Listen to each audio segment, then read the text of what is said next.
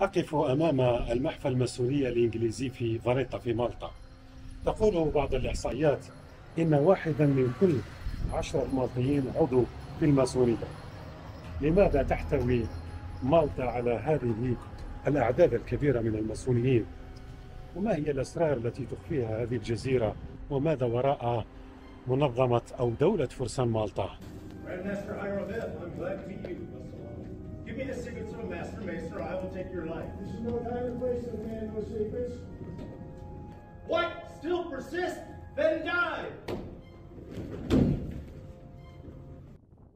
يعود تاريخ تشكل أولى خلايا الماسونية في مالطا إلى بدايات القرن الثامن عشر من أوائل الأعضاء المنضمين إلى هذا التنظيم السري عناصر ناشطون في تنظيم فرسان الهيكل ومالطيون من الطبقة البرجوازية وكبار التجار ينشط في مالطا محفلان الطقس الماسوني الاسكتلندي والشرق الأوسط الأكبر كان الانتماء إلى المحفل يتم في الخفاء إلا أنه ومع تضاعف أعداد الأعضاء أصبح الكثير من السياسيين والقضاة ورجال الأعمال يعلنون انتماءهم للتنظيم ويقولون إنه ليس مجرد ممارسة طقوس قديمة في سرية تامة بقدر ما هو ناد للاحتكاك بالآخرين والاستفادة من تجاربهم.